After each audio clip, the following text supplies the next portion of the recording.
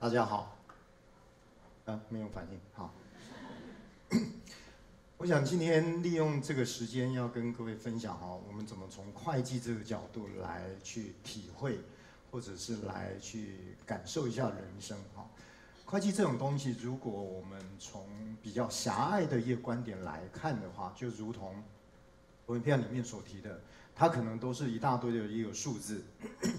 一大堆的一个报表哦。那会计从业人员可能每天都投入在报表的一个编制这些数字堆里面。但是这些其实都是我们讲的很非常非常狭隘的一个会计的概念。东吴大学会计系在最早之前，在一九零零年刚设立的时候，它是在上海的校区里面，是在法学院底下，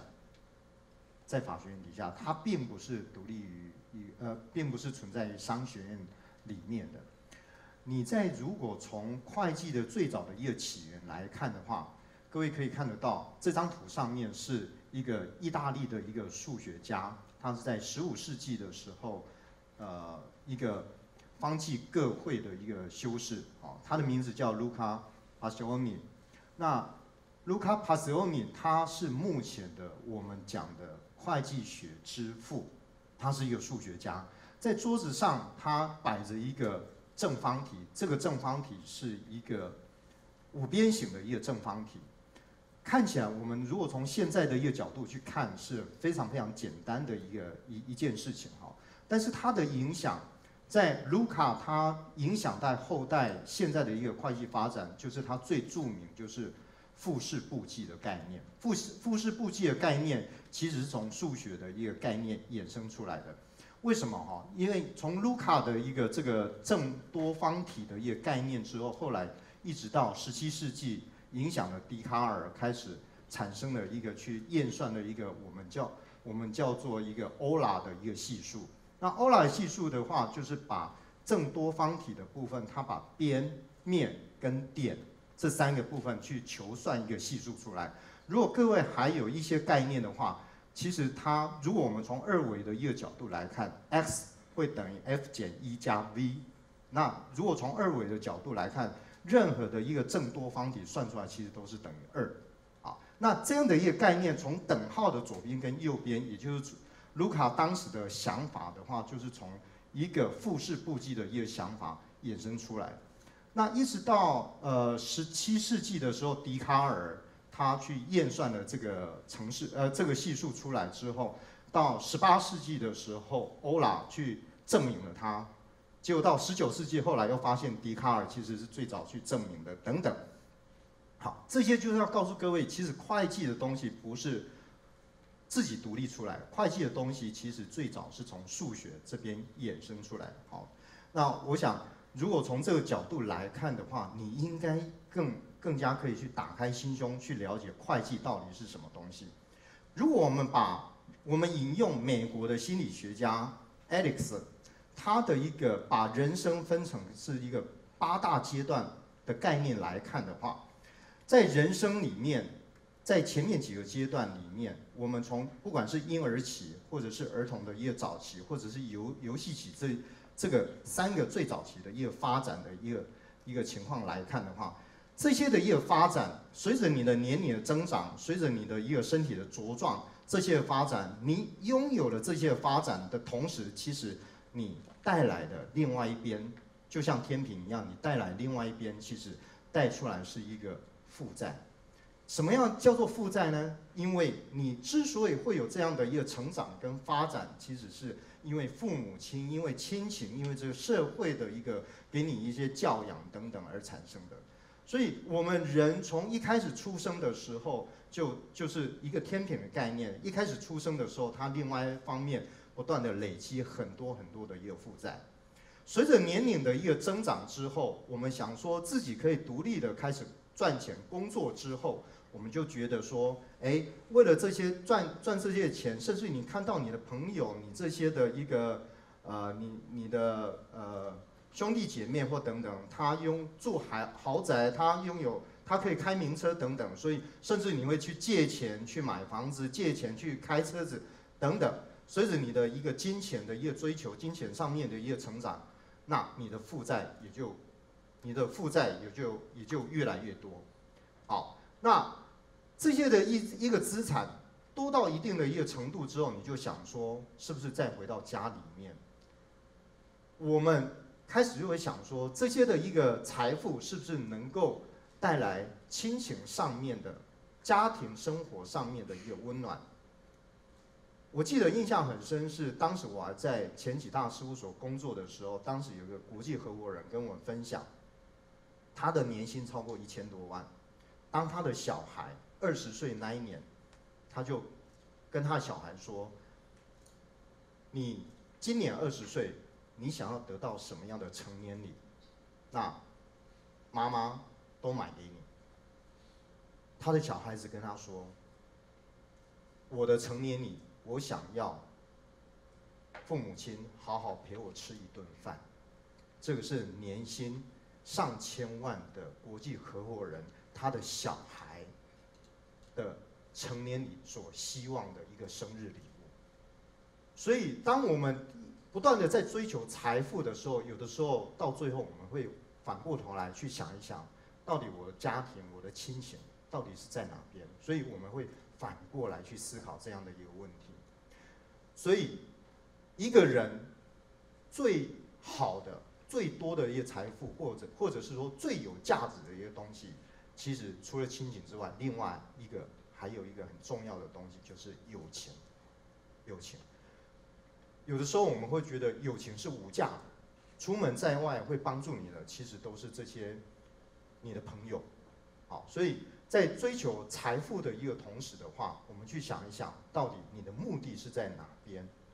所以总括来讲的话，一个人所拥有的所有的一个资产，这些的资产，不管你是有形的这些的财富，或者是无形的、无形的这些的一个友谊等等，拥有这些的。资产的同时，其实我们都要想一想，我们是不是这些的一个资产是来自于多少的负债，来自于多少的亲情上面的一个养成，所以这边就形成我们在会计理论上面有一个非常重要的一个方程式，就是资产会等于负债加权益，也就是说，所有的一个资产的一个来源，不是不外乎是从负债这边来，不然就是由权益这边而来的。好，这个是人生的一个概念。不管你在哪一个阶阶段，不管你是从事什么样的一个行业，其实你都是会面临这样的一个一个过程。企业界也是这样的一个概念。任何的一个企业，它所拥有的所有的一个资产，绝对是来自于负债跟权益所组成的。也就是说，任何的一个资产不是由负债这边来，就是由权益这边来。那说明这样的一个有多少的资产，有多少的负债，有多少权益的一个概念，如果我们把它做一张报表的话，这张报表就是我们在看会计学上面一个非常重要的一张表，叫做资产负债表。资产负债表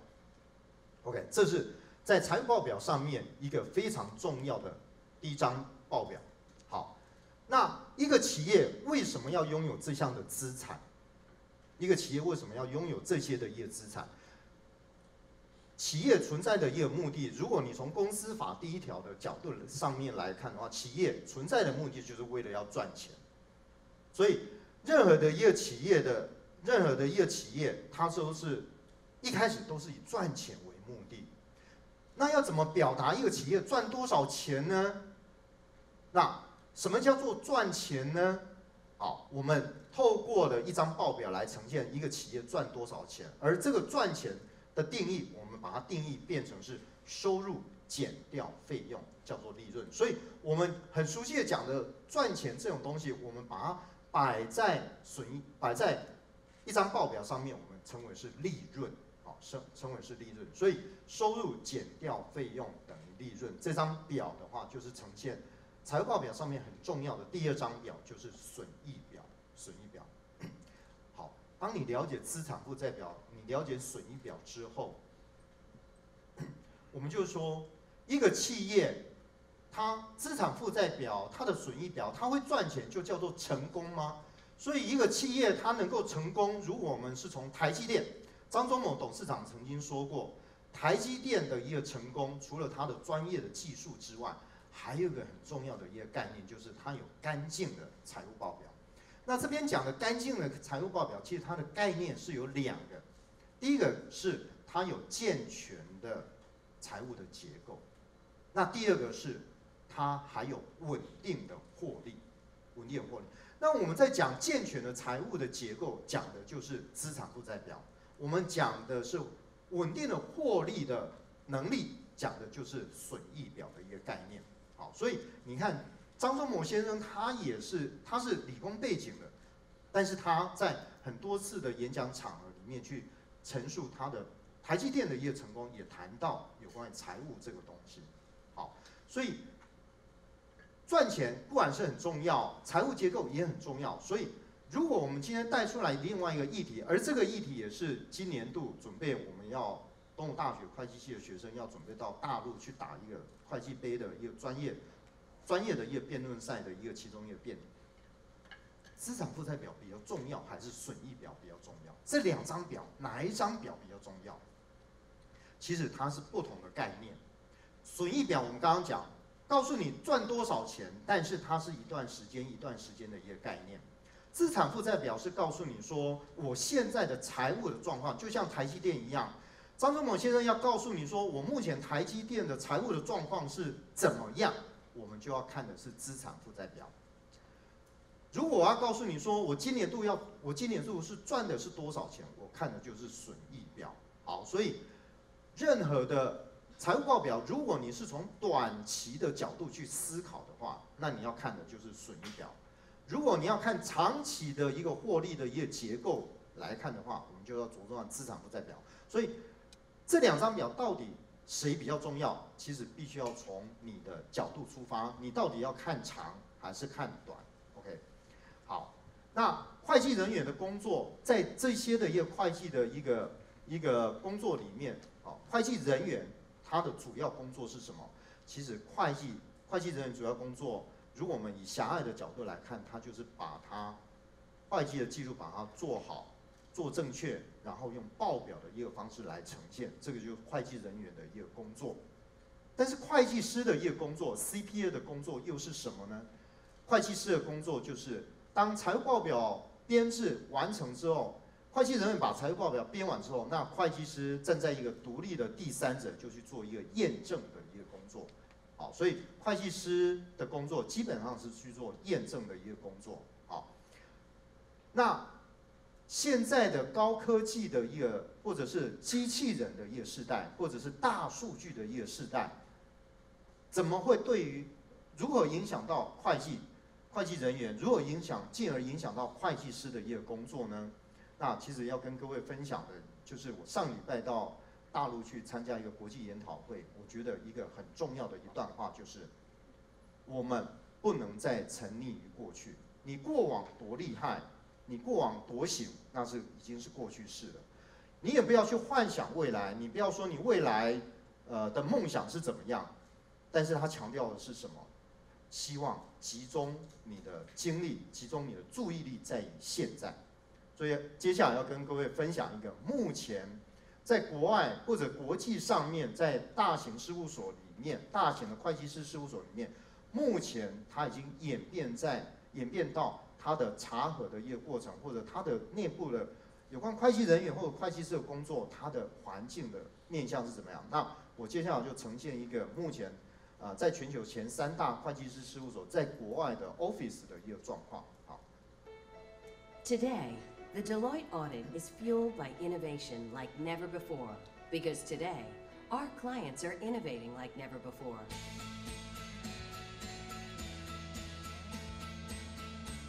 Today, the Deloitte audit goes beyond a static snapshot of the past to deliver a more dynamic picture.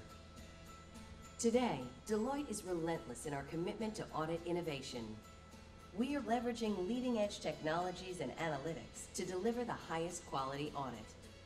And at Deloitte, innovation goes beyond technology. It's about our professionals, our culture, and our vision. Today, we are putting state of the art technology at the fingertips of the most talented professionals in the industry. Our next generation applications leverage artificial intelligence and workflow automation. Our powerful analytics capabilities fuel in depth risk identification, deeper analysis, and bring our clients' data to life.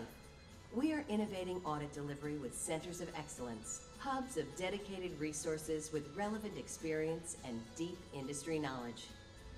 All to deliver an audit with insights that inform tomorrow's success. The Deloitte Audit, fueled by innovation today and always.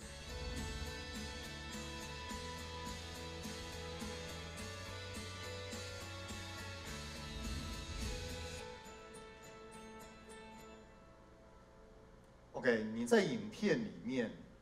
看到了一个非常重要的字，它出现了好几次，叫做什么？Today。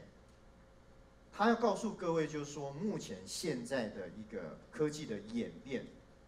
已经是存在于我们的工作生活当中了。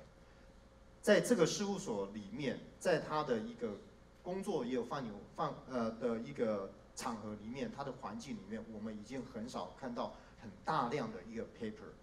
在我们的桌上。好，所以在我们目前的一个环境里面，其实要告诉各位就是。财务报表或者我们刚刚讲资产负债表或损益表的一个呈现，我引用目前在上一个上个月国际会计准则委员会的理事长他提说，目前未来的财务报表的一个呈现，应该它的主轴在在于 going concern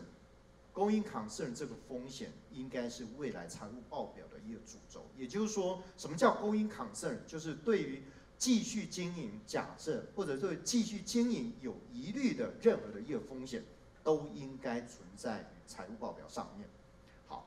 任何的公司如果它继续经营是有疑虑或者是有风险的，它其实不是在于那些数字，因为财务报表上面数字已经到了后端，而是在前头的部分，它的营运面的一个部分。所以他告诉各位，我们应该从 KYC 怎么从。知道你的客户的一个相关的一个资讯开始，那这些资讯来自于哪边？KYD，就是这些客户你所有的公司企业的 data 里面，那这些 data 存在于哪边？他告诉你说你要去了解 TC，就是 transaction trend，就是交易的产业链。所以目前我们才有很多的概念叫做，比如说区块链，